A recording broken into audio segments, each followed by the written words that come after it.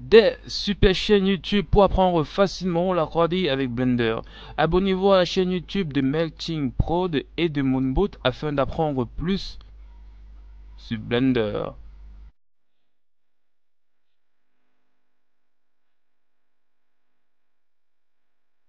Salut tout le monde, je m'appelle Jeffred et dans cette nouvelle vidéo nous allons continuer avec les tutoriels consacrés à la modélisation du personnage de Northlabs. Dans cette vidéo, nous allons réaliser euh, le shader de son skin. Allez, c'est parti. Nous allons tout d'abord commencer par modifier l'apparence du personnage dans la viewport, raison pour laquelle on peut venir ici, aller dans les cap et dans cap là, on va cliquer sur random et c'est tout. Alors on va venir dans shading et là on va créer un nouveau matériel. On va juste cliquer là et on va renommer ce matériel en skin. Ok. On passe sur la vue de face en appuyant sur la touche 1, mais ce n'est pas vraiment nécessaire. Alors ici on va utiliser le principal BSGF afin de créer ce shader. Alors le shader du skin. Tout d'abord, on va importer dans les inputs une texture coordinate afin de coordonner la texture que l'on va créer, la texture procédurale. Ensuite, on va importer dans les vecteurs, le vecteur mapping. Alors ici, on va dire euh, mapping. Par la suite, on va importer dans les convecteurs un separate x, y, z. Alors je vais expliquer tout cela par la suite. Et enfin, on va importer un convecteur. Euh, le convecteur color Alors ici on va comme cela. Alors par la suite ici on va connecter la sortie vecteur du mapping avec l'entrée vecteur ici. Ensuite ici nous voulons d'abord créer une texture sur l'axe des Y, raison pour laquelle on va cliquer, on va sélectionner là et on va piquer ça ici. Et là, on a un colorant qui permet de créer un dégradé de couleur. Ici, on a un dégradé noir et blanc. Alors, on va connecter la sortie color avec l'entrée base color du principal BSDF. On va inverser ces deux couleurs, tout simplement parce qu'on veut que euh, la couleur blanche soit au niveau du ventre du perso ici. Voilà on veut que cette couleur blanche reste là et la couleur noire se retrouve là derrière. Alors comme ça c'est bon. Mais actuellement on a un problème. Ici en bas on voit encore la couleur blanche ce qui n'est pas bien.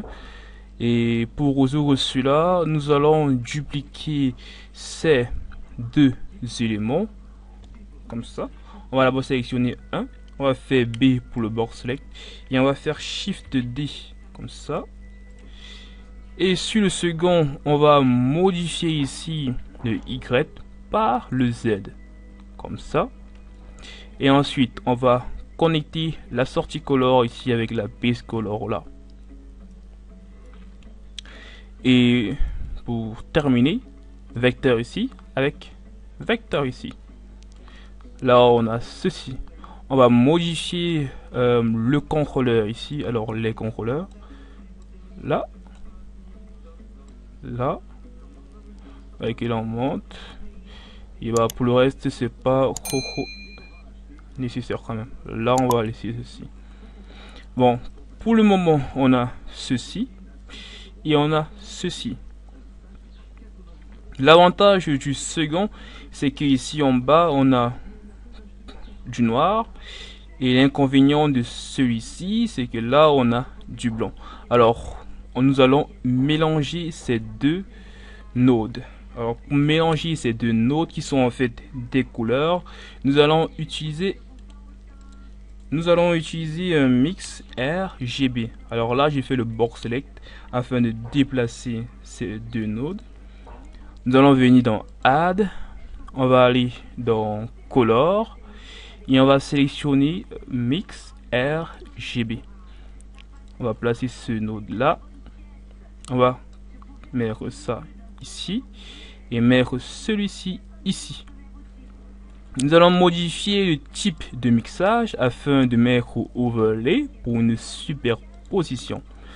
On va, on va connecter la sortie color ici avec l'entrée base color du principal base F. Et nous allons augmenter le facteur ici. Et là, on a ce résultat. Vous voyez que ici en bas, nous, nous avons plus la couleur blanche. Bon, là, on peut encore euh, configurer euh, la première color. Alors ici, si elle est trop grande, on peut... Euh, bon, on va la laisser ainsi pour le moment. Ok. Pour continuer, nous allons modifier cette couleur noire afin de mettre une couleur orange. Pour faire cela, je vous invite encore à utiliser une color ramp.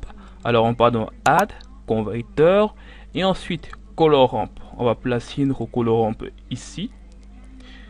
Vous allez remarquer que la couleur noire ici représente la couleur noire là.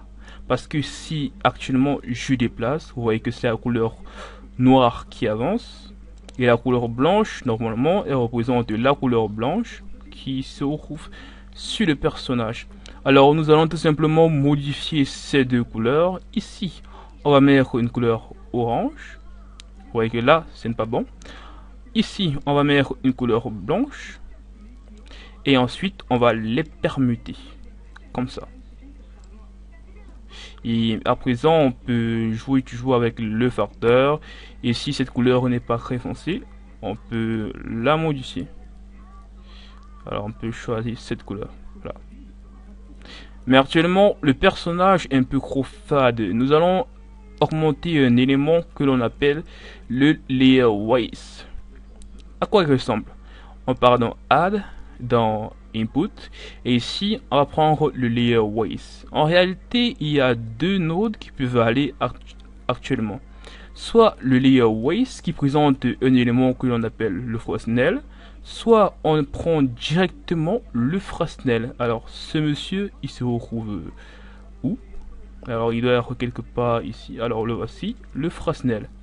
Donc soit on utilise le Fresnel qui se retrouve sur le layer waste, soit on utilise le layer waste, le Fresnel, tout simplement. Alors pour cette vidéo, moi je vais travailler avec le layer waste, mais ces deux paramètres en fait, ce sont les mêmes. Alors, on va supprimer le second. Et on va travailler avec celui-ci. Nous allons importer une color ramp. Alors, converteur, color ramp. Ici. Et là, nous allons connecter la sortie Fresnel avec le facteur. Et ensuite, alors on va un peu arranger nos nodes. Celui-ci sera placé là. Et enfin, on va connecter ça avec ça. Voici à quoi ressemble le layer waste proprement dit. Là on a une couleur noire à l'intérieur et à l'extérieur tout au bord on a une couleur blanche. Ce qui est ici. Alors nous allons donc fusionner ces deux nodes, toujours avec un mix RGB. Là je sélectionne ce node, je fais un bord select et je le déplace un peu plus devant. On part dans Add, Color, et ensuite mix RGB. On place ce node là. On fusionne ces deux messieurs. Alors le premier ici, on va le placer là et le second là. Et nous allons modifier la couleur noire. Ici, on va mettre une couleur orange un peu plus foncée. Et ici, on va mettre une couleur rouge.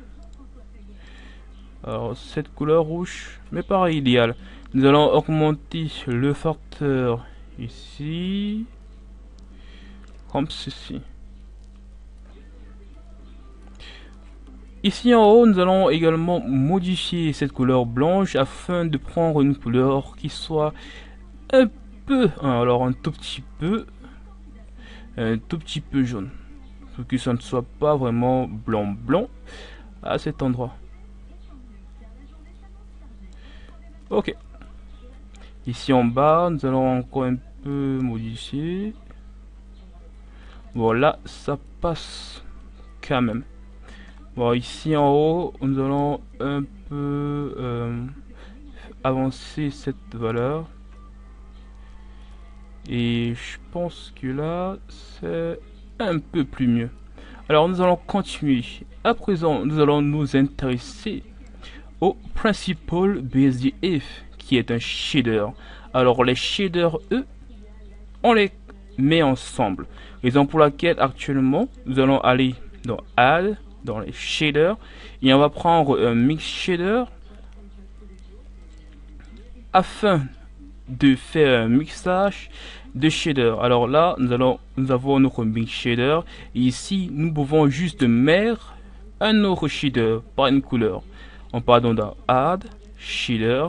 Et ensuite, on va prendre le shader diffuse BSIF. Alors, ce monsieur se retrouve là. Et ici, connexion. On va modifier la couleur blanche, là, afin de mettre une couleur euh, orange.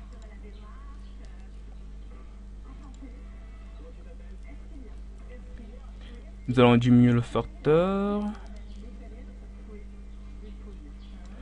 Nous allons un peu remonter la roughness.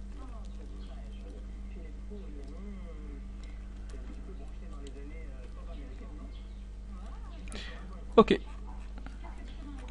Au niveau du principal BSDF, nous allons utiliser le subsurf.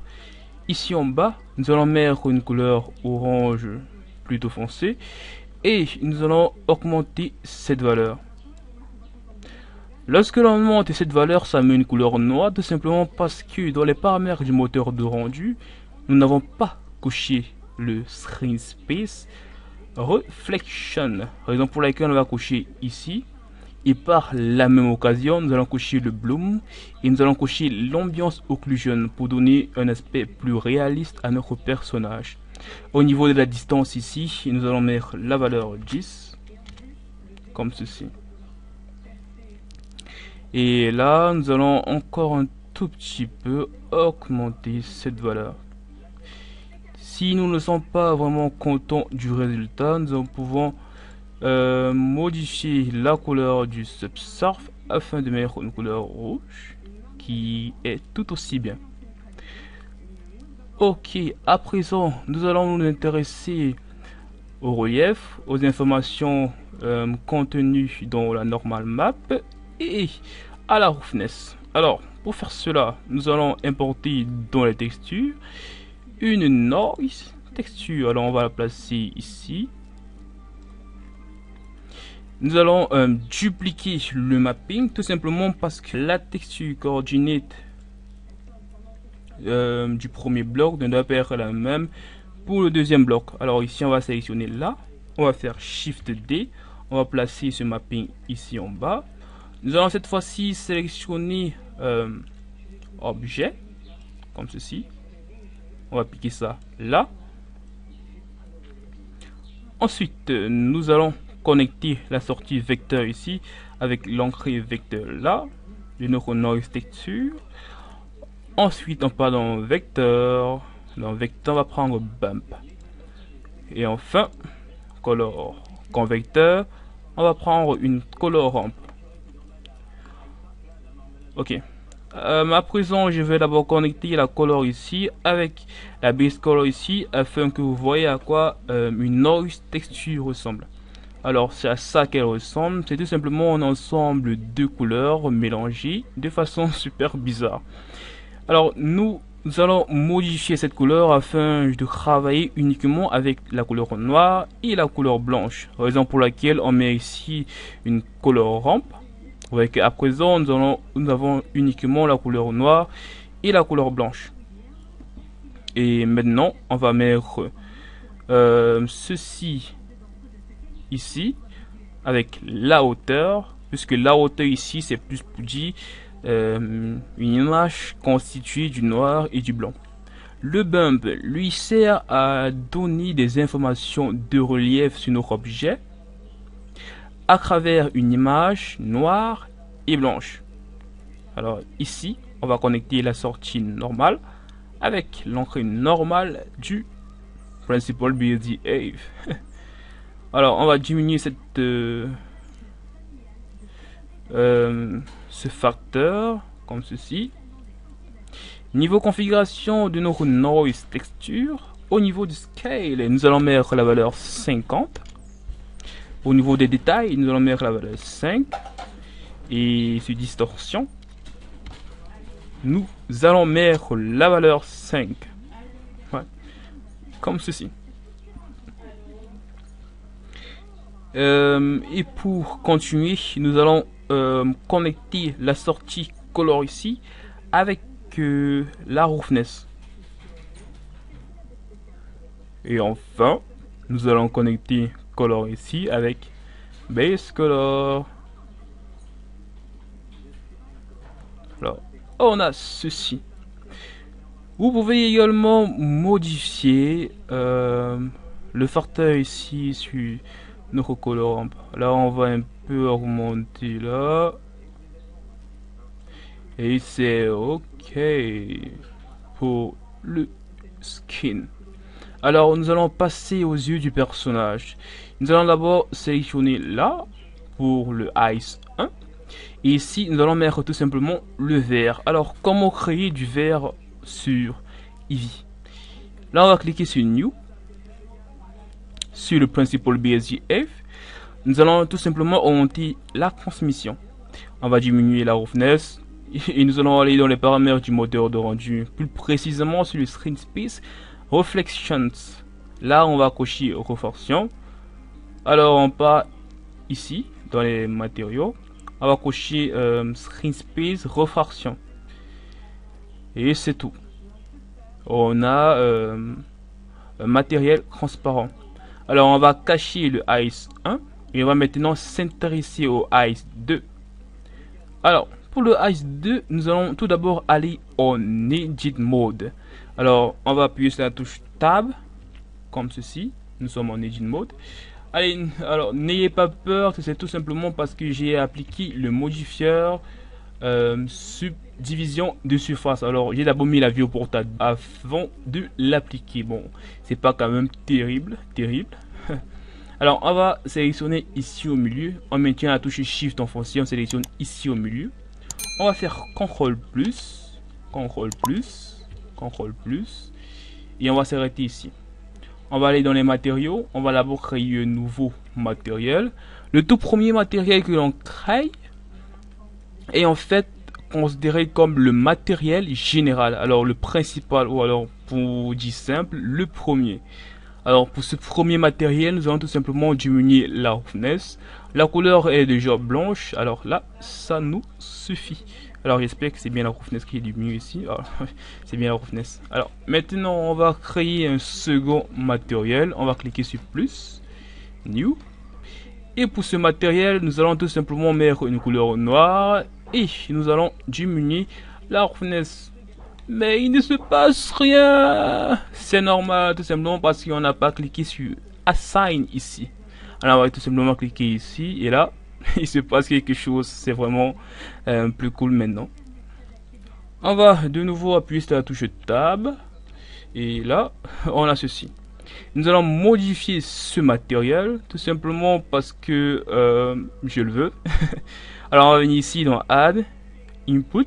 Et cette fois-ci, euh, au lieu de travailler avec notre layer waste, nous allons plutôt travailler avec le Fresnel. Comme je vous l'ai dit précédemment, le Fresnel du Fresnel et le Fresnel du layer waste, c'est la même chose. Alors après avoir connecté comme ceci, nous allons utiliser une color ramp. Alors on part là, ici color ramp, on connecte ça là, et on va modifier les couleurs. Alors, la couleur noire que je vois ici, je vais d'abord mettre une couleur rouge pour voir. Comme ceci. Voilà, c'est un vilain petit crapaud. Alors, on va modifier cette couleur. Alors, on va, les inverser. Et ici, on va un peu euh, avancer ça là, avancer encore ça là. Ses yeux rougis petit à petit. Et voilà, je pense qu'on va laisser ça euh, ainsi. Alors, je peux encore un peu augmenter. Pas trop quand même. Ah bon, ok. Alors, c'est tout. On va désélectionner et on va faire revenir le Ice 1.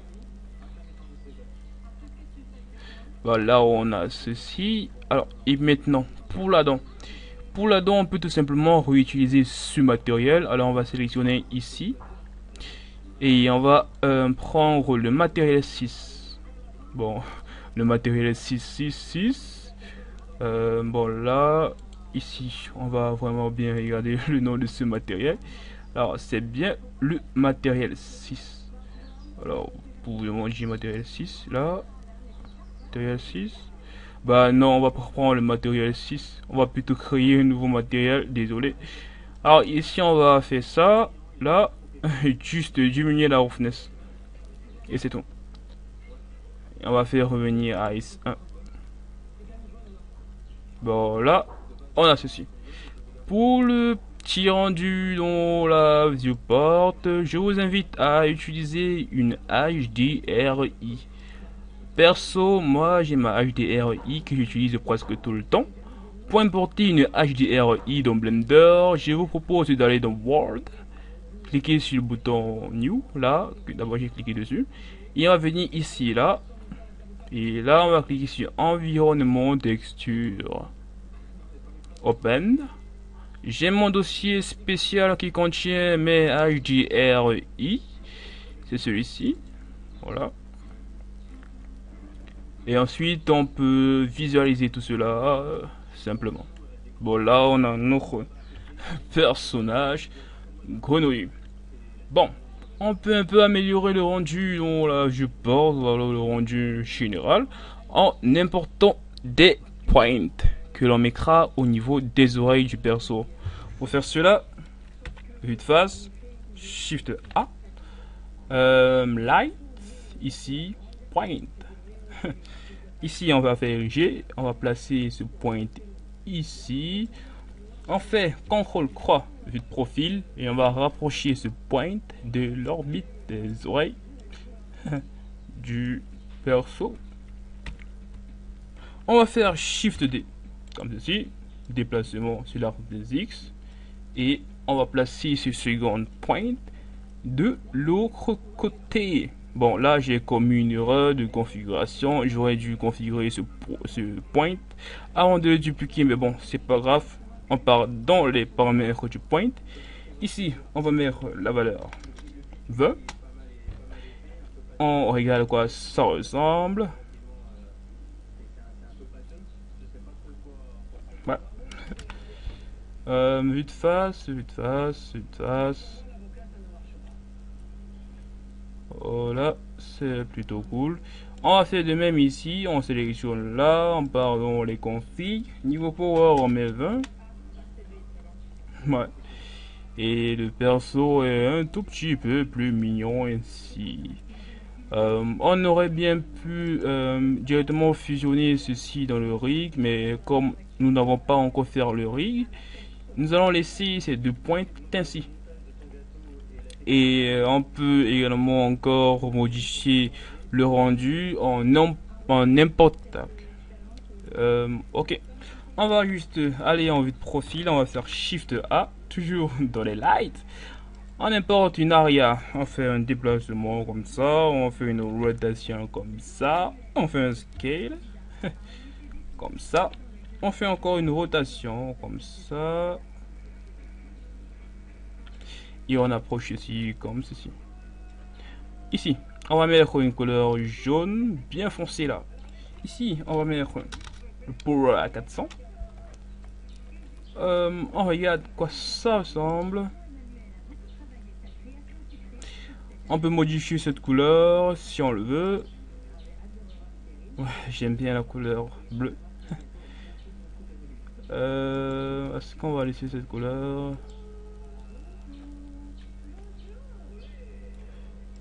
Hmm. Voilà, on va laisser cette... Non, on va revenir sur la couleur. Voilà, voilà, on va laisser cette couleur. Et c'est tout pour cette vidéo. Vous savez maintenant comment faire le skin de ce personnage. Merci de m'avoir suivi et surtout n'oubliez pas de lâcher un gros pouce bleu si vous avez aimé cette vidéo, de la partager à vos amis, de vous abonner à la chaîne afin de nous soutenir. Bientôt on va atteindre les 600 abonnés. Merci les gars.